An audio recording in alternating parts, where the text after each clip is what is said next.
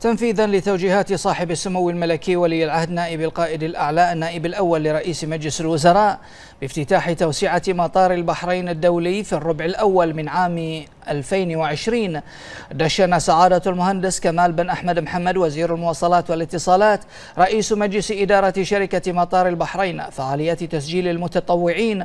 بغية تسجيل مشاركة 14 ألف متطوع من الجمهور في تجارب الجاهزية التشغيلية بمبنى المسافرين الجديد بما يدعم خطة التنمية المتواصلة لقطاع الطيران في المملكة. ويتفق مع برنامج الحكومة وأهداف رؤية البحرين الاقتصادية 2030 sarracina.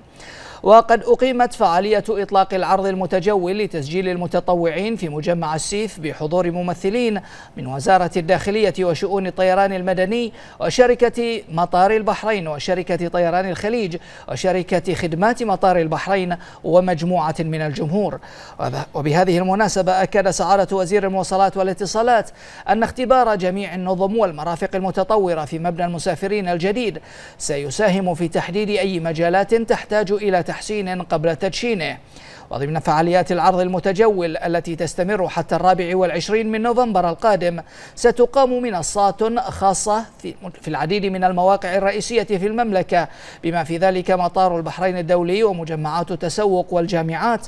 هذا ويمكن للراغبين في المشاركة التسجيل عبر الإنترنت من خلال الرابط أو الاتصال من خلال الرقم الظاهر أسفل الشاشة.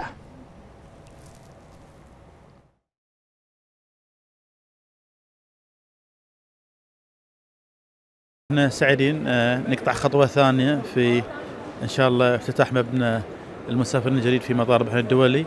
اليوم إحنا عندنا حملة على أساس إن نشجع البحرينيين والمقيمين إنهم يشاركونا في عمليات تجريبية لافتتاح مبنى المسافرين الجديد.